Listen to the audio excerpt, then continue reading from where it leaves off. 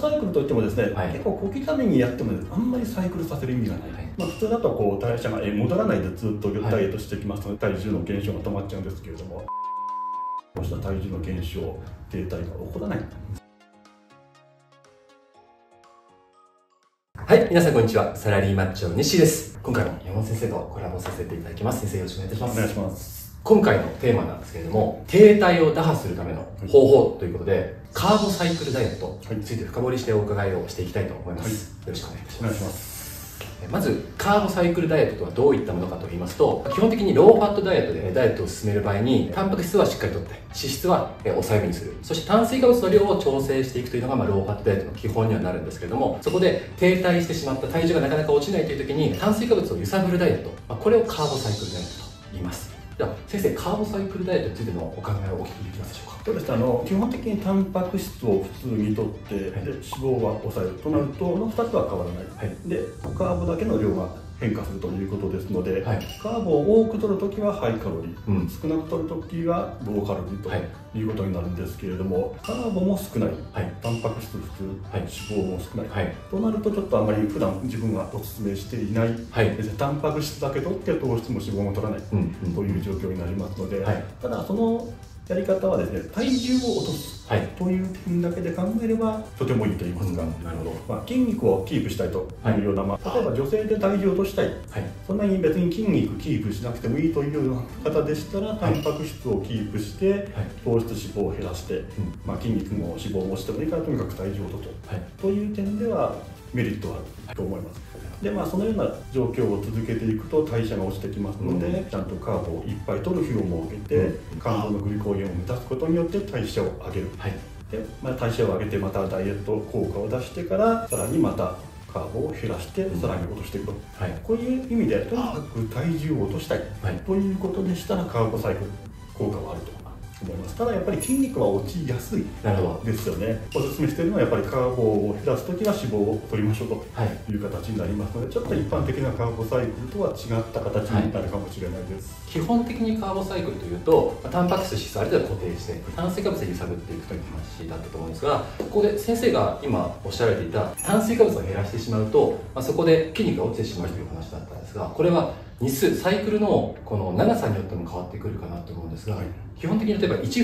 日少ないカロリーにして3日に1回ハイカロリーにする、まあ、そういった場合でもやっぱ筋肉が落ちるという懸念はやはりあるという感じでしょうか？そうですね。1日2日ですと例えばカーボサイクルの場合でも全体的なカロリーが少ないので、はい。肝臓のグリコーゲンそんなにない状態なんですよ、うん。例えば2日カーボを減らしてしまいますと、はい。そこでやっぱり筋肉が落ちてしまうなるほどあといわゆるカーローディングの時、1週間前ぐらいにカーボを減らしていくというようなこの方法がやっぱりちょっと選手たちがよく使うんですけれども、はい。選手たちがそのカーボディプリートのところで体調を崩すってことが結構多くて、うんれであんまりカーボディプリート今行われていないんですけれども、はい。そうしたことを考えますと、まあ、選手ではなくごく普通の人がそういうことをやると余計体調を崩しやすいんじゃないかなと。なるほど思い。ますので2日間カーボを減らすというのもちょっと体調面で、はい。健康面であんまり良くないかなとは思います。健康面の心配があるということですね。では先生が逆にこのカーボサイクル、まあ、カーボサイクル自体は体重を落としていくのは有効であると。はい。でその理由としては、まあ、肝グリコーゲンのグリコーゲンの量を調整するというのは減量の肝であって、やっぱりずっとローファットで炭水化物を取っていてなかなか落ちないという場合この炭水化物の量というのを落としていくっていうことが、まあ、体重とす上でかなり重要なファクターになると思うんですが先生が考えられるできる限り筋肉を落とさずに、えー続けられるカーボサイクルの方法というものはございますでしょうか？そうです。あの一つボディーオーパスというものをちょっと私、1995年くらいにダニエル・デュシェンという、まあ、アメリカのですね、はい。ボディビルダーなどを指導している人が発表した方法なんですけれども、それは5日間ケトはい。2日間カー。ボアップはい。まあ、週末カーブアップというものですね、これですと実際にこれをやってかなりうまくいったという方がとても多いです、まあ、トレーニングしている人だったら、まあ、可能ですがで5日間のケトによって肝臓のグリコーゲンを完全に落としきってそこでしっかりと、まあ、体重体脂肪グリコーゲンを落としきる、でその2日間のカーブアップによってグリコーゲンを満たして代謝を戻していくと、でまあ、例えばケトの状態だと水分が抜けたりあとミネラルが抜けたりとかいろいろ不具合が起こることもあるんですけれども、2日間のカーブアップによってそうした不具合をなくしていくというものですね。ですので健康面でもなかなか考えられた方法だとは思います。とそれとは別に2週間ダイエット2週間普通。はいというようなサイクルダイエット。はい、これもいいと思います。え2週間普通にダイエットするとどうしても代謝が上がってくるんですけれども、はい、その後2週間普通に食べる、うんうん、それをまあ交互にやることによってずっと2週間で落として代謝が戻る。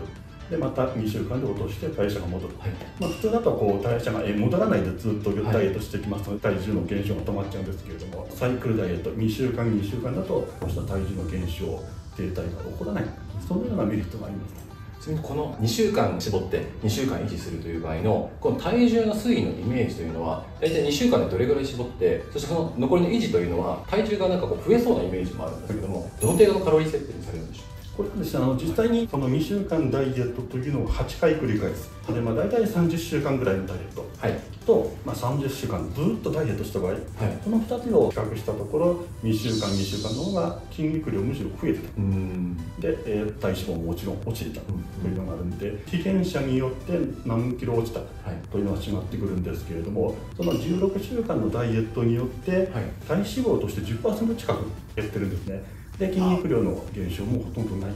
という形ですのでずっとダイエットを継続するよりは30週間にわたってダイエット普通ダイエット普通やった方がむしろ健康にもメンタルにもいいんじゃないかなと思います。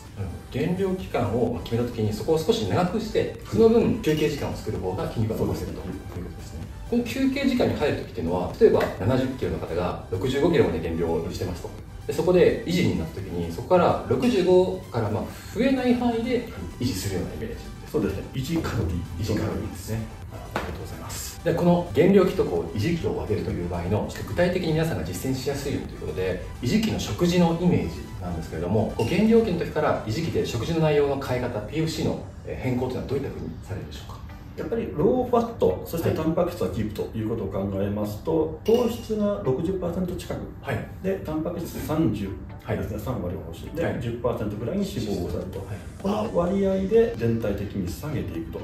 う感じですね、そしてカーボをできるだけ低くする、はい、このような PFC になるかなと思います。なるほど。で逆に言うとそこからまた維持に戻していくというのをその6対3対1をキープしたままクリーンに増やしていく。そうなります。そういうイメージですね。そこで維持だって言ってこうパン食べたりピザ食べたりというのは良くないと。あくまで。も維持ですね。維持ですね。はい。ということでありがとうございます。では最後ちょっとカーボサイクルのおすすめの方法を最後お話しして終わりたいと思うんですけれども、まあ、今までのお話の中でタンパク質と脂質を固定のまま炭水化物を中途半端に減らす増やすっていうのはあまり効果がないと、はい、そしてそれを続けてしまうと代謝を落としてしまうことになりかねないということだと思うんですが先生のおすすめのカーボをサイクルさせる停滞を打破する方法についてお伺いできますでしょうか、はい、まずカーボサイクルといってもですね、まあ、小刻みに例えば、はい、今日 300g のカーボを取って次は 200g 次は150そして300とか、はい、結構小刻みにやってもあんまりサイクルさせる意味がない、ですね。何のために介護サイクルを行うかといいますとまずカーボを減らす時には体重をしっかり落とす、ローカロリーにする。でカーボを増やす時に代謝を上げるというような意味がありますので例えばカーボを増やす時に代謝が上がるだけの量を取らないと意味がない。ということなんですね。でその代謝が上がる時っていうのはどういうことかというと肝臓のグリコーゲンがある程度満たされないとダメなんです。ですので例えば1日だけカーボを入れたとしても肝臓のグリコーゲンなかなか満たされない、よっぽど大量に食べないと、はい、そういうことを考えますとそれなりの期間例えば解剖サイクルであれば3日間から4日間はちゃんと落として肝臓のグリコーゲンを使い切る、うん、で肝臓のグリコーゲン満タンにするにも3日間から4日間ぐらいは使うと、はい、ですので例えば1日ごとにここまで小刻みにやるのではなくて3日4日はそれぞれの少ない量多い量で分けていくという感じです。かね。はい、というわけで今回はですね先生に、おすすめのカーボサイクルの方法についてお伺いをしてまいりました、まあ、結論としては、小刻みに、回すサイクルではなくて大きく回しましょうと。そうすることで肝臓のグリコーゲンここがキーポイントでこれをしっかりと枯らす。そして満たす。これをしないと代謝が戻るということもないですし逆に体重が下がっていくということもないということで押さえておいてください。先生今回はありがとうございました。ありがとうございました。この動画が面白いな、参考になったなと思っていただきましたら、ぜひ高評価とチャンネル登録よろしくお願いいたします。先生のチャンネルは概要欄に貼ってありますので、ぜひチェックよろしくお願いいたします。それではまた次の動画でお会いしましょう。バイバイ。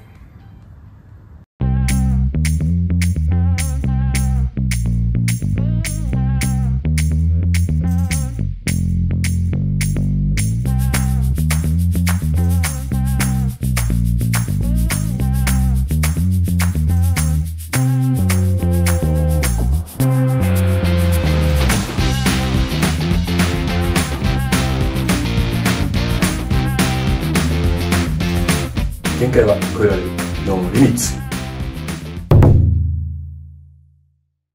You're never gonna make it, you're not good enough There's a million other people with the same stuff You really think you're different, man, you must be kidding Think you're gonna hit it, but you just don't get it It's impossible, it's not probable, you're irresponsible Too many obstacles, you gotta stop it, yo, you gotta take